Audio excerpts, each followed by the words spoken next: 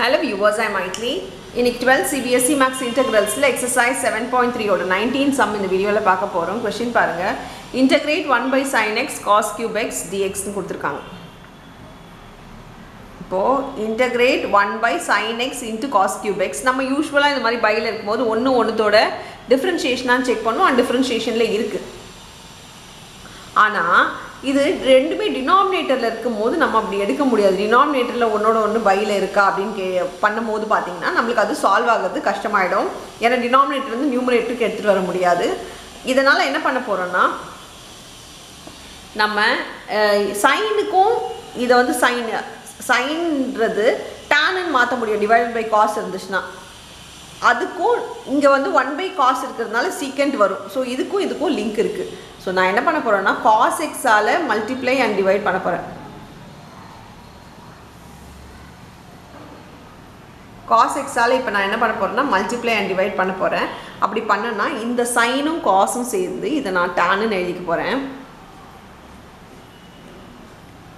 டினாமினேட்டரில் இருக்குது டேன் எழுத போகிறேன் இது பார்த்திங்கன்னா காஸ் பவர் ஃபோர் எக்ஸ் ஆகிடும் cos power four x நியூமரேட்டருக்கு one by cos power four x இருக்குது இதை நம்ம சீக்கன் ஸ்கொயர் சீக்கன் பவர் ஃபோர் எக்ஸ்னு மாற்ற முடியும்.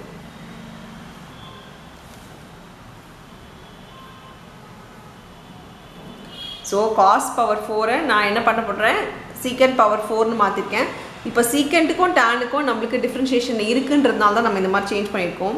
இப்போ நான் இது வந்து secant square X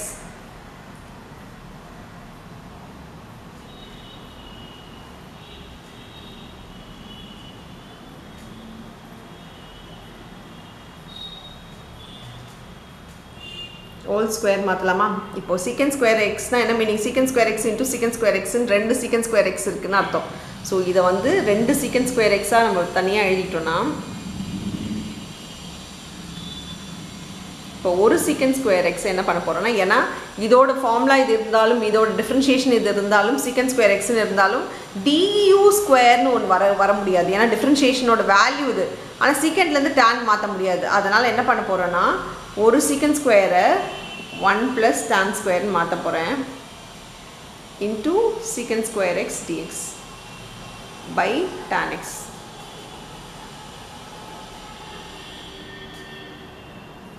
இப்போ பார்த்தீங்கன்னா டேனோட டிஃப்ரென்ஷியேஷன் சீக்கன் ஸ்கொயர் வருமா? அப்போது let u is equal to tan x ஆகிடும் யூ டேன் எக்ஸ் ஆயிடுச்சுன்னா டிஃப்ரென்ஷியேட் பண்ணால் d u by d x is equal to secant square x ஆகிடும் d u is equal to secant square x d x ஆகிடும் இப்போது இதுக்கு பதிலாக நம்ம D டியூன்னு எழுதிக்க முடியும். அண்ட் ஒன் ப்ளஸ் டேன் இருக்குது இல்லையா? ஒன் ப்ளஸ் டேனுக்கு பதிலாக one plus u square tan இருக்கிறதுனால யூ ஸ்கொயர் பை இது வந்து யூ ஆகிடும் அண்ட் டோட்டலாக இது இதுக்கு பதிலாக நான் டியூன்னு எழுதிக்கிறேன்.